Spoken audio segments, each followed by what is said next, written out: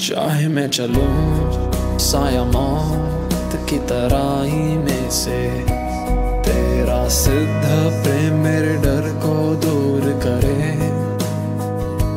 जब ही मैं फंसूं इस जीवन के संघर्षों में, मैं पलटूं ना तो पास है जो मेरे। दुष्टता से डरू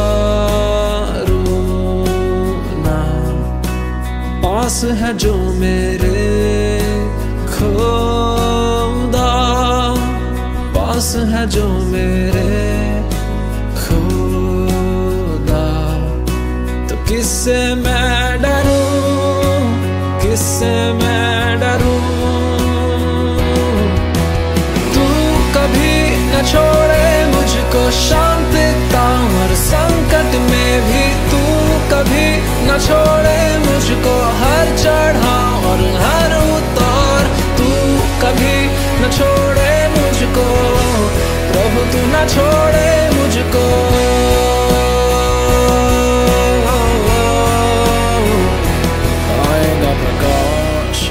Hello everyone, this is Ramesh Shirley and today I'm gonna tell about how God has helped me.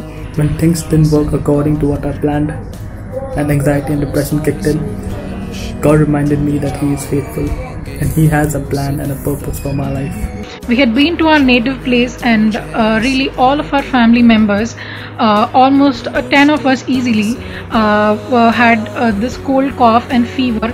And uh, knowing how the situation and the pandemic is going on right now, we really didn't dare to get ourselves tested at first. पास है जो मेरे खुदा तो किससे मैं डरूं किससे मैं डरूं He raised me from the pit and He healed me. God became my hope and my comforter when no one was there. संकट में मैंने प्रभु को पुकारा उसने मेरी सुनी और मेरा उद्धार किया When my mother was suffering from chikungunya and she had reached its last stage and she was on her deathbed struggling for her life, I saw God's light coming upon her and miraculously she recovered from her illness. When I was drowning in sin, unaware of my identity, Christ called me out with a name, and in Him I found my new identity and purpose in life. एक बार हम लोग घर से बाहर घूमने गए थे सपरिवार थे। अचानक घनघोर बारिश होने लगा।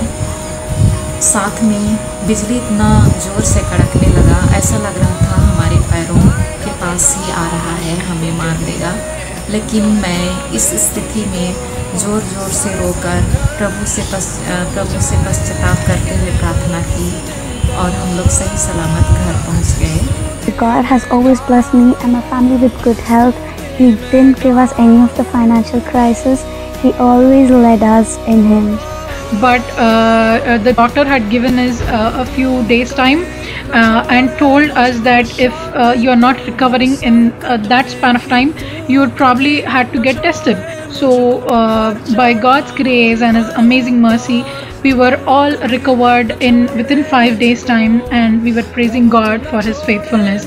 So i testify uh, standing here uh, to say that god was definitely definitely by my side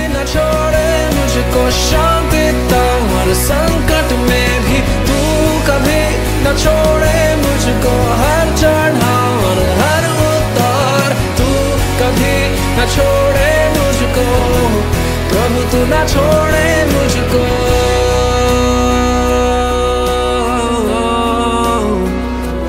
प्रभु तू न छोड़े मुझको प्रभु तू न छोड़े मुझको प्रभु तू न छोड़े मुझको